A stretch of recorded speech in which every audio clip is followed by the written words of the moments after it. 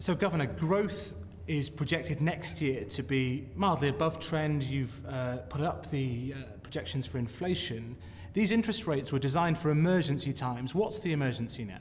Well, there's two things. Um, first, in terms of growth, uh, we have, you mentioned next year, well, look at growth the year after. We see it about 2.4%. That's the best judgment of the MPC. That's uh, slightly below the historic average, and that's coming after, uh, on the heels of a worst recovery on record, so the worst recovery that we've had uh, since uh, records began more than a century ago.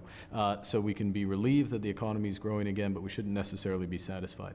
Uh, the second thing, in terms of inflation, uh, inflation is at 2.9% now. It's a product of a variety of one-off uh, shocks, um, and the challenge we have is to get inflation back to that 2% target. That's our primary responsibility. We're well aware of that, and get it back, but get it back in a way that, to the extent possible, and the, ex the extent responsibly uh, that we support output and employment in the United Kingdom.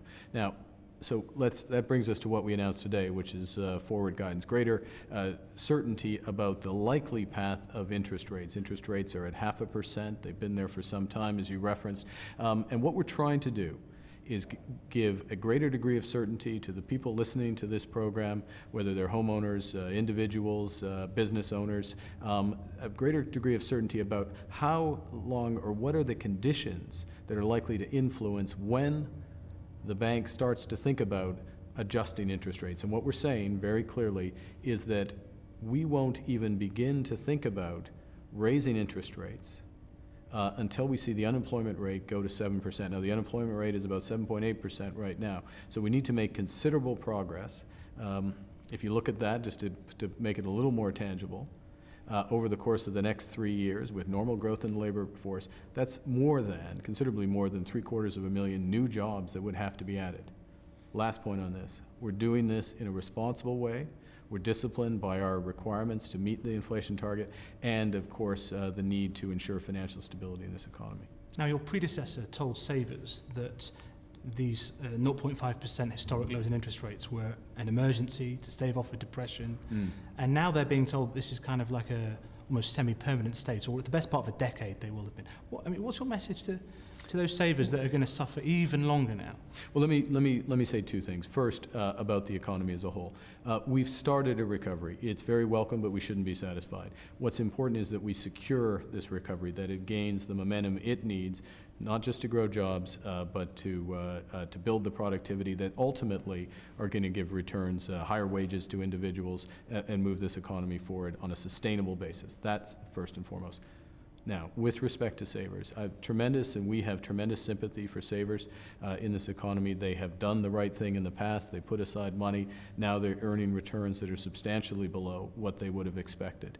Uh, we're doing several things for savers. The, the first is the best thing for uh, savers ultimately is a strong economy. A strong economy will mean higher interest rates. It'll mean higher asset prices.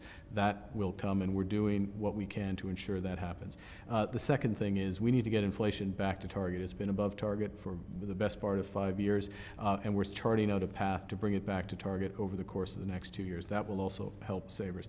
Uh, and the third thing, though, is, is to put this in a broader context, uh, because uh, the savers I know uh, and you know, uh, they, they, don't, they care more broadly about their children, their grandchildren, that they have jobs, that they have bright futures, uh, uh, futures for their neighbors, for their friends, um, and that is, um, that is what a strong economy will deliver uh, for savers, but for all people across, across they, the UK. They were told that this would be a temporary thing. It looks like it will last seven, eight years now.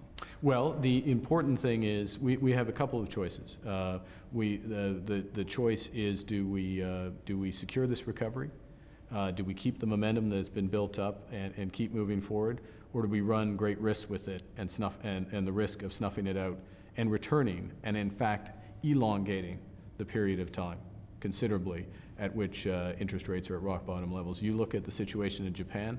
Uh, where there have been more than two decades. I was there at the start of it. I lived in Japan at the start of it. And two decades later, they're still in a situation where there are not returns to savers uh, because they weren't able to reach that escape velocity. They weren't able to, when there were the starts of recoveries in Japan, uh, to really get the momentum behind it. It's, uh, this is something we're looking to avoid, obviously, in the UK, uh, and that's one of the reasons why, one of the many reasons why uh, we've adopted uh, forward guidance. We don't want to have expectations building up of a premature withdrawal of interest rates that, of of very low interest rates, um, that snuffs out this recovery.